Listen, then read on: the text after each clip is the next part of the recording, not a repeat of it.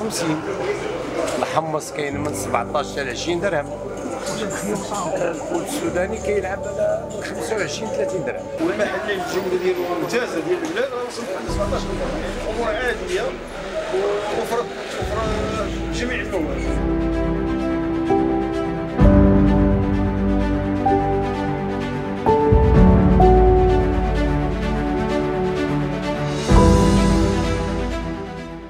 عمليه المراقبة تنقوموا بها في إطار لجنة مختلطة تشمل مجموعة من المصالح آه، الخارجية اللي تدخل في عمليه المراقبة. وتركزوا في أول أول عنصر اللي أساسي في هذه العملية اللي تتميز بهذه الظرفية اللي قلت صعيبة وعالمية.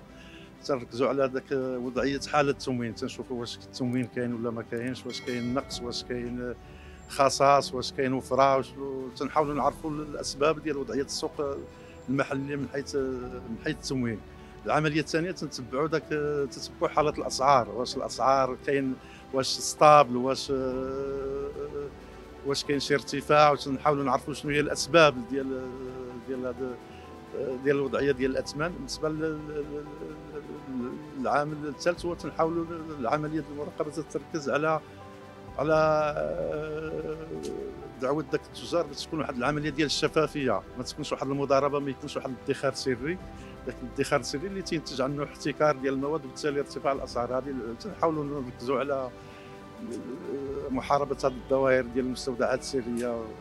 اللي مرتبطه العامل الرابع هو تنديروا تحرير آه، محاضر مخالفات وتنصيفطوها للسلطات آه، تنصيفطوها المحاكم المختصه قصدها اتخاذ الإجراءات القانونية بخصوص هذه المخالفات طبقا للقوانين اللي تخدموا بها اللي هي 104 12 المتعلقه بحرية الأسعار والمنافسة وكاين 31 صفر 8 المتعلق بحماية المستهلك وعندنا واحد القانون حتى هو ديال 77 15 متعلق بمحاربة الاكياس البلاستيكيه الممنوعة. تقريبا هذه هي الخلاصة ديال هذه اللجان آه، تكون اقليميه وكاين لجان تكون محلية على مستوى القيادات الاليه المتواجده بالمستوى الإقليم. والأساس هو تنحاولوا كما قلت سابقا هو التركيز على وضعية التموين وخاصة المواد الأكثر استهلاكا وخاصة في هذه الفترة ديال المقبلين على شهر رمضان. واللي قلت بأن تتميز بعد ظرفيه اقتصادية عالمية كاع مجموعة من الدول تتعرف هذه المشاكل ديال ارتفاع الأسعار مرتبط بمجموعة من العوامل. وكاين العامل الداخلي ديالنا حنا هو قله ديال التساقطات